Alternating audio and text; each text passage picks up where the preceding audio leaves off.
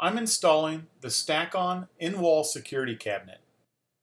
This is the cabinet unit, and this is the hardware. The hardware includes a logo sign, four small screws, four washers, and four long screws. This is completely optional, but I like making a pattern of the cabinet's back. I use one piece of scrap cardboard.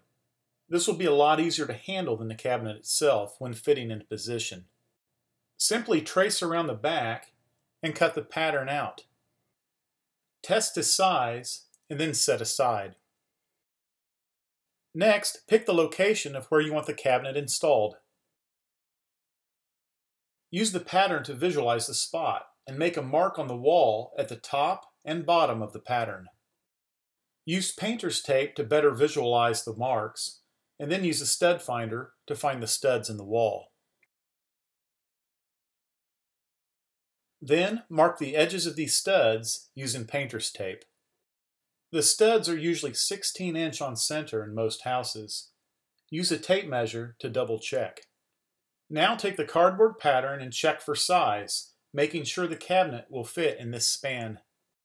Using a level, strike a line along the bottom marks and along the top marks of the cabinet's back dimensions. Next, use an awl or a nail to find the edge of the studs. If there's a mistake, then the small holes are way easier to patch. Once the studs are physically identified, the marks can then be cut. I prefer using a drywall saw to make my cut. However, if you're worried about unseen objects in the wall, like pipes or electrical wire, then use a utility knife with the blade extended just deep enough to get through the drywall. Since I actually built this wall, I'm certain of what lies behind it, and will use my drywall saw. Once I completed the bottom cut, I then make the top cut. The sides are easy. You simply cut straight down, using the studs as a guide to keep the blade from wandering. Next, use the blade of the saw to pry out the piece. If you are cutting on an exterior wall, you will have insulation behind the drywall. The insulation can be stripped down to size or can be cut out. Since this wall is below ground, I have concrete walls behind it. I'm choosing to cut the piece out for a better fit. This is totally optional. Once the insulation has been removed, take the cabinet and fit it for size. Decide which direction you want the door to swing to change directions, you simply turn the cabinet upside down. To make the cabinet fit perfect, it's a good idea to fill in the space around its perimeter. Take the cardboard that represents the back of the cabinet and place it in the wall void. Note the gap that needs to be filled. I found that a piece of drywall was the perfect filler for this size gap. Measure, cut, and secure a piece to the stud using drywall screws. Next, refit the cabinet in the wall.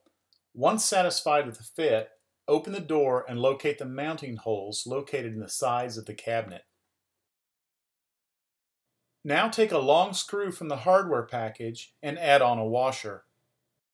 Using a screwdriver or a drill driver, secure the cabinet through the mounting holes to the stud. Make sure you hold the cabinet firmly in place during the installation. Repeat this process on both sides of the cabinet. Next, install the shelves. Note the mounting holes on the back edge.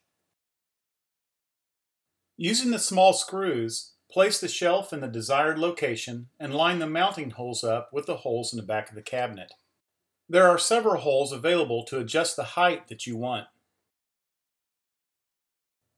Use a Phillips head screwdriver to tighten into place. Make sure you do not over tighten, you do not want to strip the threads. If you want extra security for holding heavier items, I recommend adding another screw through the side mounting holes of the shelves. To do this, drill a hole using a drill bit that is slightly smaller in diameter than your screw. I decided to use a 2-inch deck screw for securing this shelf into place. Repeat this process on the other side of the shelf. Finish by installing the shelf liners. Repeat this process on the next shelf. Next, shut the door and snap the logo sign into the pre-drilled holes on the door. Simply line up the plugs on the back of the sign with the holes on the door and snap into place using a light bump of the hand. Finally, conceal the cabinet by covering it with a decorative picture. The wall cabinet is now ready to use.